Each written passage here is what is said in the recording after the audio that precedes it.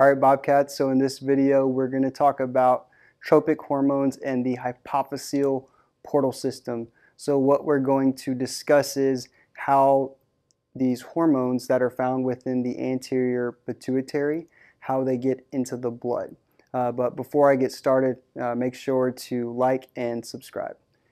So the first thing I want to show you is what I have drawn on the board. This is what represents a cross section of the brain and the area that we're going to focus on right here is what's known as the hypothalamus. So you have the hypothalamus, and then this is what's represented as the pituitary gland.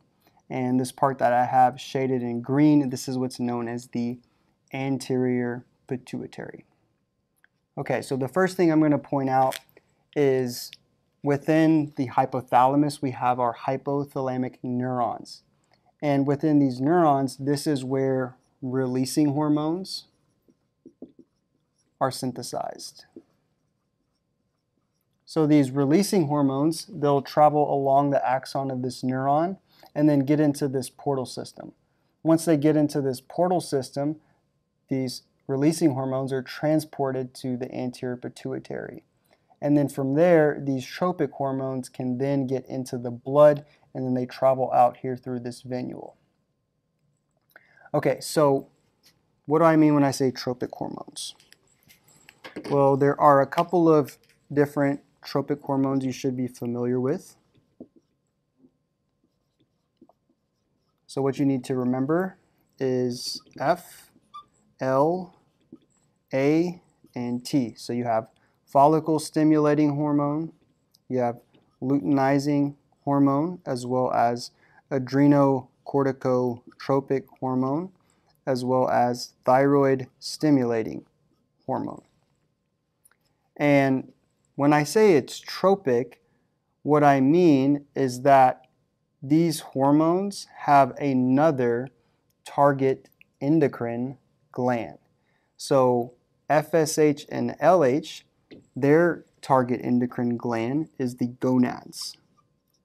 So it varies between males and females. So with males, you have the testes, and then with females, it's the ovaries. For ACTH, the, the target is the adrenal gland or adrenal glands. And for thyroid stimulating hormone, it says it in the name, it's the thyroid gland. Some of the non-tropic hormones include prolactin, as well as growth hormone.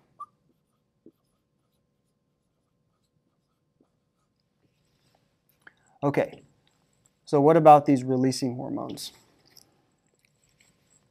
So FSH and LH, they require what's known as gonadotropin releasing hormone. For adrenocorticotropic hormone, we have what's known as corticotropic releasing hormone. For thyroid stimulating hormone, it's the thyrotropic hormone. So, or thyrotropin releasing hormone. Okay, so now that we understand here that within this neuron, within the hypothalamus, we synthesize these particular releasing hormones. They travel along the axon, get into this portal system, get into the anterior pituitary, stimulate the release of these uh, tropic hormones, and get them into the blood, let's take a closer look at the hypophyseal portal system. So in order to get to the portal system, these releasing hormones, they first have to get into what's known as the primary capillary plexus.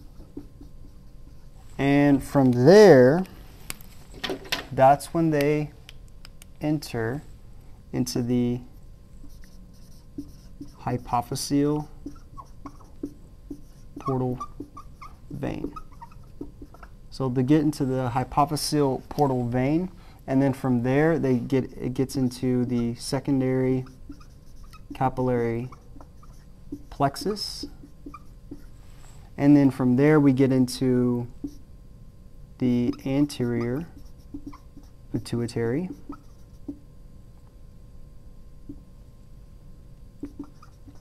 which contains these secretory cells. So this releasing hormones, they're traveling through this route and then they'll get reach their secretory cell within the anterior pituitary and then from there these tropic hormones will then travel through the venule and then they'll get here into the blood.